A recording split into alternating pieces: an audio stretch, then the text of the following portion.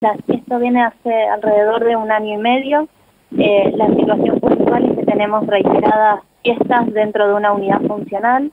Los vecinos se encuentran atrapados en esta situación porque no hay manera de frenarla. La persona que vive en esta unidad eh, invita eh, cantidad de gente a su departamento, nos deja las puertas de acceso trabadas, abiertas, los ascensores fuera de servicio.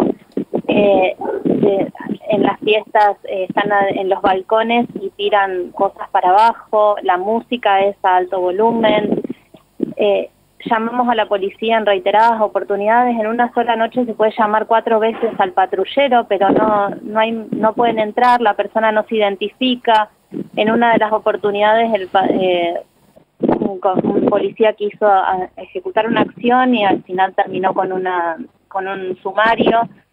Eh, la propietaria, por su parte, está iniciando todo el trámite de desalojo, pero eh, primero por la pandemia y el DNU no se podía hacer desalojo y ahora hay que esperar los tiempos. Es como que los tiempos de la justicia y la vida de la gente van en caminos paralelos que no se juntan. Entonces uno se encuentra atrapado en una situación que no, por más de que llames a la policía, por más de que multes a la unidad funcional, por más de que como administradora le hemos mandado carta documento a la propietaria, a la inquilina, hemos hablado con la inmobiliaria, con los abogados de la inmobiliaria, no, no encontramos una solución y las fiestas se siguen produciendo noche tras noche, llamando a los patrulleros que están en la zona para que nos ayuden, hay gente mayor en el edificio, hay menores, eh, la situación es realmente insostenible y no encontramos eh, ninguna salida, ni siquiera en una se sabe que un desalojo es largo en cualquier situación normal.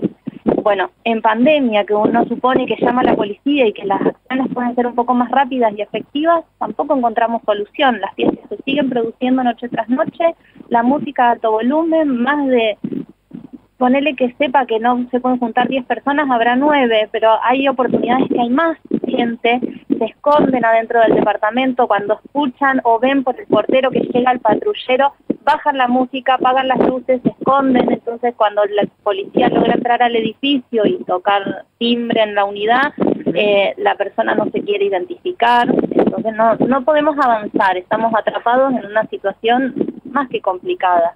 Tengo entendido que a ella le han ofrecido hasta la posibilidad de irse sin pagar nada. Sí, la dueña está, solidaria con los vecinos y con la administración del consorcio, que no sabemos qué otra herramienta más utilizar. Eh, no tenemos contactos políticos como para decir, bueno, toquemos a tal para ver si podemos hacer que esto termine. vamos por los caminos legales, mandar carta documento, eh, cobrarle multa a través de las expensas, pero como no las paga, eh, le van a tocar a la dueña en su momento, no sé cómo lo manejarán. la dueña le ofreció no, no, no pagar nada, ni, el alquiler, ni expensas, nada, irse. Y, no, no, no hay manera, no hay forma. no, hay nada. ¿Hace cuánto fue la, la última fiesta? ¿Cuándo, ¿Cuándo les informaron a los vecinos? Este fin de semana. ¿Este fin de semana ya dentro del DNU nuevo? Sí, sí, sí. Todos los fines de semana, cualquier día de la semana. Música en cualquier momento. No, no tiene, siempre de noche, claramente ya de día como que está todo tranquilo, pero de noche es mucha gente. Eh, la situación es complicada. No, es una persona con la que no se puede tener un diálogo normal, fluido, es, rara la conversación, no, llegas nunca a ningún punto, no entiende que lo que está haciendo no, no está bien, se pone agresiva, se ha puesto agresiva en su momento con, con los vecinos, eh, toma represalias y, empieza a golpear las puertas de las unidades eh, de forma violenta, agarra a gente que esté en, el sector. Eso nos pasó el año pasado, no ahora.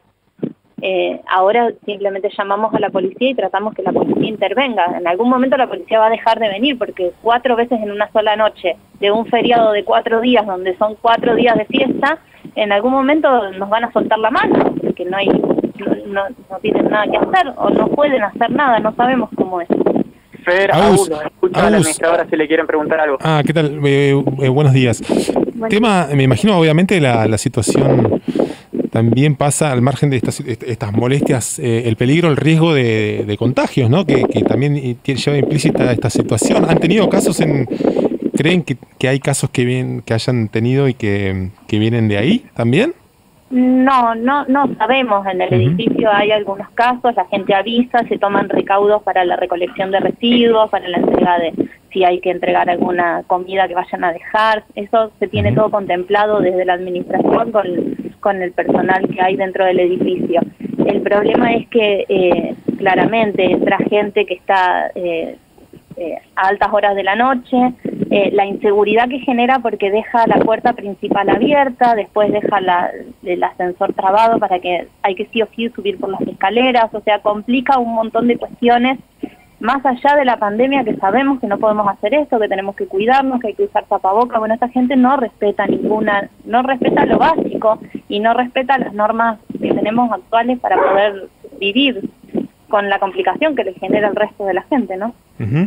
Y ahora, la policía que va, se presenta en el lugar, hace el apercibimiento, y digo, o sea, no, puede ser que la única solución sea ir todas las noches a ver, a, llamar la atención. Digamos, hace meses que vienen con este con este contexto. ¿No hay una situación, una solución de fondo? Hay denuncias policiales realizadas. yo te digo, llamamos al patrullero, el patrullero se acerca, nos pide, si está abierta la reja porque la dejó abierta, entran directamente cuando escuchan o ven que se acerca un patrullero, bajan, apagan la música o la bajan muy, la dejan muy bajita eh, y se esconden, hacen silencio, atienden a través de la puerta sin abrir, sin nada, no se identifican y al no identificarse no, no sucede nada, no pueden hacer más nada que esto. Eso es lo que nos informa a nosotros la policía. Desde la administración se mandaron las cartas documentos, se la intimó, se le mandó el reglamento de convivencia, eh, se, se habló con la dueña, se la intimó a través de las despensas, pero no, no hay resultado. ¿Cuánta gente vive en ese edificio? ¿Cómo? ¿Cuánta gente convive ahí en el, edificio aproximadamente? En el edificio debe ser alrededor de 80 unidades funcionales. 80, 80 familias, ¿no? Claro, son dos torres en realidad. En una de las torres es el problema, pero afecta a todos. Bien, Agus, eh, bueno, eh, cerra vos si tenés alguna, alguna otra consulta y lo que nos quieras decir desde el lugar donde está pasando todo. Bien, eh, entonces, ¿ustedes les dieron algún tipo de plazo respecto de cuándo se puede resolver esta situación o simplemente están esperando a que... Ahora estamos esperando que la justicia resuelva. La dueña de la unidad eh, ya mandó, hay, tenía que mandar dos cartas documento con un plazo de 15 días entre cada carta documento, una a la inquilina, una al garante. La semana que viene se se produciría ese plazo de los 15 días, los últimos 15 días y podría iniciarse el desalojo.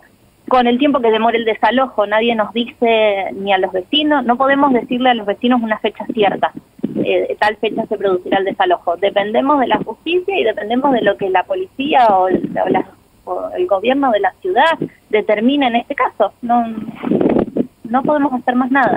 Por la vía legal que corresponde, no podemos hacer más nada está todo hecho. Muchas gracias. ¿eh? Bueno, Fer, hasta ahí clarito la situación que viven los vecinos allí en esta, sí, En, torre, en la Torre Pionero. ¿Me, ¿Me, repetís exactamente la, la dirección, por favor, una vez más? Sí, es Río Juramento y Avenida San Juan, ahí en barrio Santa Genoveva. Bien, bueno, ya está, ya se, ya se sabe. Eh, si, esto no cambia, bueno, es, es no querer hacerlo, básicamente. Está saliendo en la tele, está saliendo en la radio, mucha gente escuchando. Bueno, hay gente que está preocupada por lo que está sucediendo ahí. Reclamos reiterados de, de los vecinos ahí en ese edificio y esta cosa de que nos piden guardarnos, restringirle a la circulación, etcétera, y vemos que hay pequeñas, pequeñas grandes situaciones porque afectan la vida de, de 80 familias que, bueno, están a la espera, pendientes de, de una solución definitiva